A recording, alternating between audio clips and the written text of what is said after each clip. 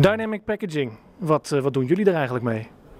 Ja, wij doen er vrij veel mee. Ehm, we zien natuurlijk dat ehm, de trouwe partners uit het verleden iets minder trouw worden. En daar moeten we ons op voorbereiden. Dus dan is dynamic packaging een, uh, ja, een belangrijke tool om de toekomst in te gaan. Het begint een steeds groter onderdeel van de organisatie te worden. Ik, ik zie het meer als een, uh, als een huis die uh, gebouwd wordt en waar je pijlers voor nodig hebt. Als je daar 20 pijlers onder moet en er zakken er twee weg, gaat het, verzakt het huis.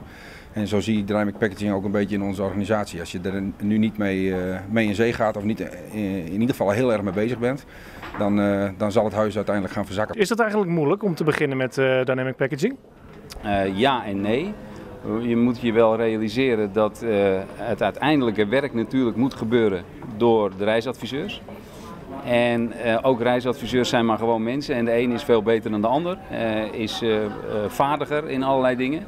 Dus het vereist wel aandacht en opleiding. De grote uitdaging is uh, het juridische aspect. Uh, daar is natuurlijk uh, en, en, op dit moment geen richtlijn gegeven vanuit brancheorganisaties.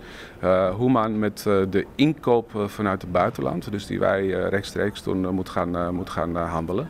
En um, daar zit dus de uitdaging op dit moment in. Ik zit er op zich uh, uh, vrij relaxed in, want uh, uiteindelijk is het de moeilijkheid van dynamic packaging zit hem aan de back-office kant. Dus hè, hoe ga je eventueel wel of niet zelf de dollars inkopen en hoe ga je afspraken maken met, met de agenten. Wat overigens ook niet zo heel moeilijk blijkt als je naar de ITB gaat en daar een rondje gaat lopen, maar dat terzijde. Um, en de, de moeilijkheid aan de balie, daar wordt vaak, dat wordt eigenlijk een beetje een self-fulfilling prophecy, omdat het eigenlijk voor die dames of heren aan de balie niet veel moeilijker is om in het systeem van een Amerikaanse touroperator rechtstreeks te boeken of in een touroperator in Nederland rechtstreeks te boeken. Sterker nog, vaak is het veel makkelijker en overzichtelijker. Als je kijkt naar de toekomst van de hele reisbranche, is dynamic packaging dan nou ja, het, het toverwoord waar je het mee redt? Of wat je echt moet gaan doen, wil je in de toekomst nog steeds in de running zijn? Ja, ook dat. Ja, ik wil niet elke keer het woord self-fulfilling prophecy gebruiken, maar dat klinkt allemaal zo, uh, zo vakjargon. Maar dat is het eigenlijk natuurlijk wel een beetje. Kijk, uh, is het essentieel, het, het, wordt essentieel op het moment dat jij niet meer kan bieden aan je klant wat die klant vraagt. En je hebt een goed voorbeeld van bijvoorbeeld, we hadden intern later discussie over de prijsverschillen tussen touroperators en wat er in de, in, in de winkels aangeboden wordt. En dan hoor je wel eens uh, mensen aan de balie zeggen, goh, je hoort de laatste tijd hoor je er niet zoveel meer van. Dan zeg ik, nee, dat is logisch, want die mensen komen namelijk het eerste jaar klagen dat er een verschil in zit. Het tweede jaar wordt het wat minder en het derde jaar denk je van, ik ga er niet meer heen. En dan lijkt het alsof je er minder last van hebt, maar dan is, dan is de ellende eigenlijk al over je afgeroepen. Op zich is het niet iets wat, eh, wat binnen de uh, branche of binnen het reisbureau of binnen de retailkanaal niet onbekend is. alleen is het zo dat door de transparantie van het product en het aanbod binnen, binnen met name internetverkeer, ehm, de klant zelf dus nu ziet dat uh, producten uh, anders worden aangeboden, aantrekkelijker of misschien wel ja, thematischer op internet. En met deze producten komen ze naar ons, omdat het zijn onze eigen klanten. En, en daar moet je op antwoord geven. Dus als je dat niet doet, dan heb je toch wel een stukje van de omzet in de toekomst ja, niet bereikt. Nou, toverwoord zou ik het niet willen noemen, maar wel een zeer belangrijk iets om gezond de toekomst in te kunnen gaan. En wij willen, zoals ik eerder zei, ook graag willen samen, blijven samenwerken met, met touroperators zoals ze nu bestaan.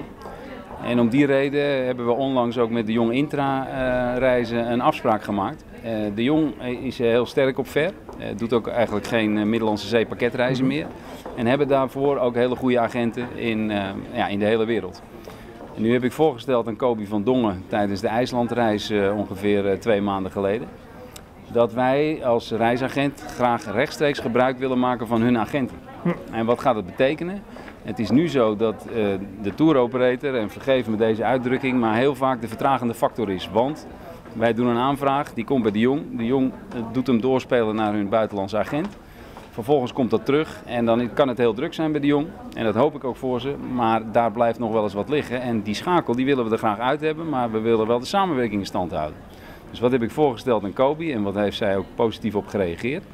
Is dat wij rechtstreeks naar hun agenten gaan met een bepaalde code, zodat ze weten van dat is een agent van de Jong.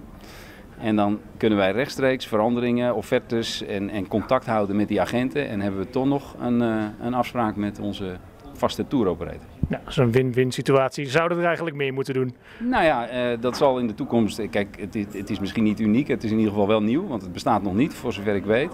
Ik heb hem dan ook zelf verzonnen. En het zal in de toekomst wellicht een vlucht krijgen, ik heb geen idee.